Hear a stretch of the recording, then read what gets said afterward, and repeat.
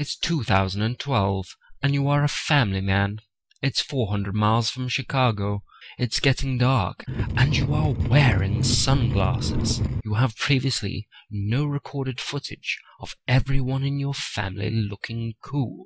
This is your chance, Daddy. The only thing that would be cooler is more speed. More speed!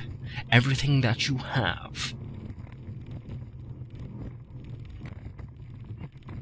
Oh no, you fell over.